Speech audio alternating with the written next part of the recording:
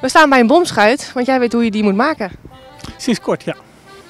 Ja, je hebt een boek geschreven, maar waarom wilde je dat nou eigenlijk weten?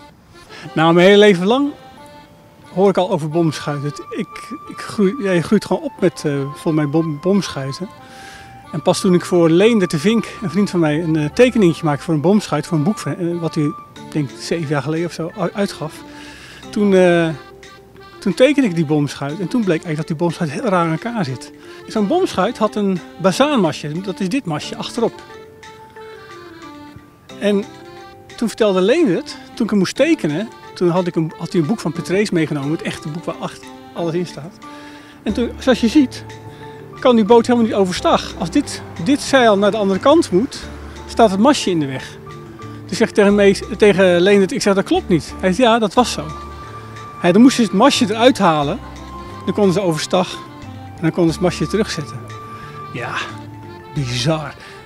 Bij latere modellen hebben ze het masje wel naar achteren gezet. Dus toen, toen dacht ik, wat zijn rare verhalen. Weet je wat? En, eh, dus dat toen, toen he- heeft het wel mijn aandacht getrokken, ja. En al die verhalen staan nu in je boek. Ja, en vooral bij Petreus vond ik het... eh Petreus is echt, de- dat is de, de bijbel van, eh, van het bomschuitbouwen. Er staat alles in, maar heel veel pap met hele mooie krenten, maar wel heel veel pap.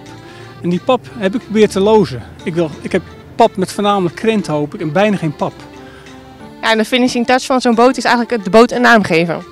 Ja, ja, dat vind ik ook wel raar hoor. Dat ook met dat nummer. Deze, dit is Katwijk 88. Hij moet sowieso een nummer hebben. Hè? En toen vroeg ik bij, ik denk dat ik het aan Kees van der Plas vroeg van het Katwijks Museum. Ehm, ik zeg, hoe zat het met die nummers? Want een de nummering is best wel gek. Hij zei, mocht elk nummer kiezen wat je maar wil. Als het maar niet gekkig is, dus niet duizend of zo. Hij mag, je favoriete nummer zijn, het mag je geluksnummer zijn. Of, hij, maar het mag alleen niet bestaan. Dus dat het enige te zeggen is, het mag niet bestaan. Het mag geen bestaand nummer zijn. Dus je moet je eigen nummer nog aan het... eh, kijk, daar, er zit ook geen, eh, er is nog geen nummer op. Die moet je zelf geven. Nou, deze heb je zelf gemaakt. Wat wordt de naam? Op hoop van zegen.